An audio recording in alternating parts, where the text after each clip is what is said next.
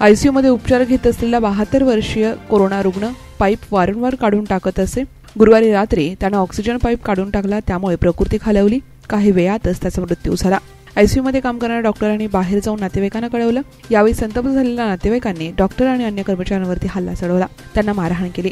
हॉस्पिटलमध्ये तोडफोड करण्यात आली. तोफखाना पोलीस ठाण्यात दोघांविरुद्ध गुन्हा देखील दाखल झाला.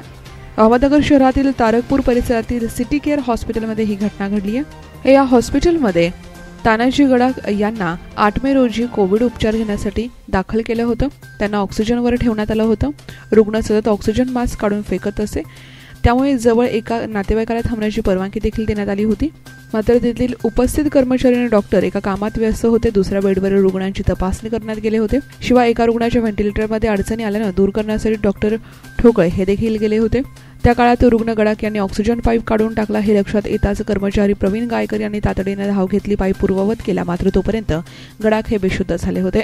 आणि हीच माहिती त्यांचा मुलगा त्याचबरोबर त्यांचा मावस भाऊ या डॉक्टरांनी त्यांना मृत्यू झाल्याचं सांगताच ते दोघेही चिडले. डॉक्टरांना शिवीगाळ केली. या दोघांनी इथे जाऊन शिवीगाळ आणि मारहाण केली. उद्या सकाळी तुम्हाला पाहून घेतो. तुम्हाला जिवंत सोडणार नाही अशी धमकी यावेळी देण्यात आली आहे. Bureau report news twenty four Ahmednagar.